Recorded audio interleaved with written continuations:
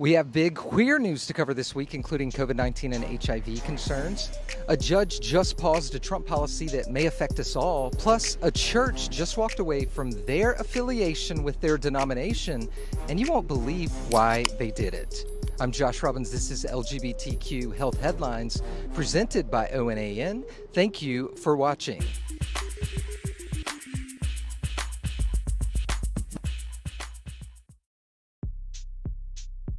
This episode of LGBTQ Health Headlines presented by O&AN is sponsored by Tennessee Homegrown, your one stop shop for creative cannabis products.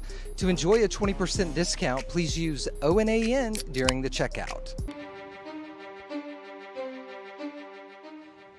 COVID 19 has affected all of us, whether or not we have contracted coronavirus, known someone that has, and hopefully recovered, or known people that have been or still are hospitalized or even some that may have passed away. Few of us were actually ready or even knew what to do with the fear surrounding the virus. People living with other health conditions, rightfully so, are all worried how it might affect them, including those living with HIV. Recently, the HIV Medical Association published an updated guide for people living with HIV concerning COVID 19 considerations.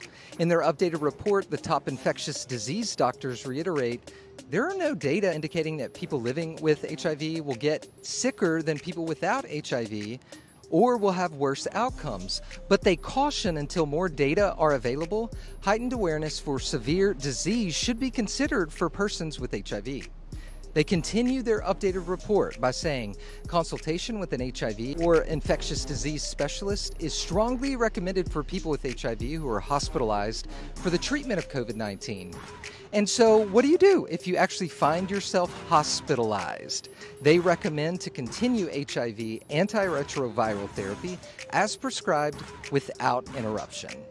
For more COVID 19 coverage, visit our special section at outandaboutnashville.com. Now, learn more about this week's sponsor.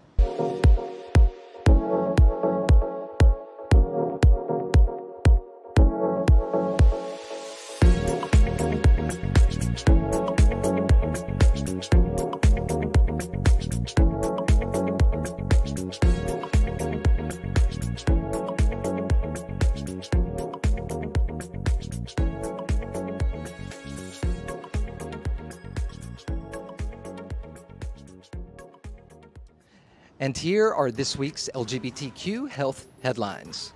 A federal judge placed a hold on a Trump administration rule that allows healthcare providers to refuse services to queer people on religious grounds. Crazy.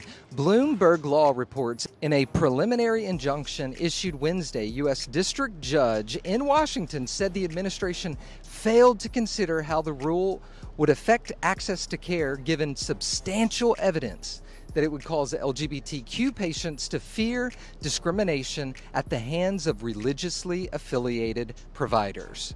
Well, that's great news. Next, a new report called Breaking Barriers to Quality Mental Health Care for Queer Youth finds that while the majority of these young people want access to mental health treatment, many don't receive it.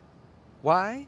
The report of the survey said that barriers such as cost, parental permission, and stigma stand in the way. The research published last week was conducted by the Trevor Project, a national organization focused on suicide prevention among queer teenagers and young adults.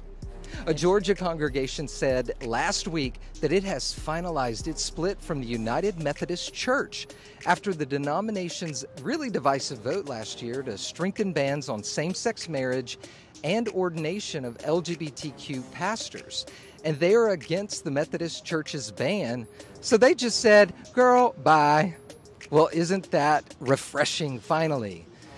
Churches standing up for equality. That's a great thing. So good luck to them. Don't forget this week's sponsor, Tennessee Homegrown. They have a special 20% discount for all of our viewers. The discount code is O&AN. I'm Josh Robbins, and this was LGBTQ Health Headlines presented by O&AN. Ciao.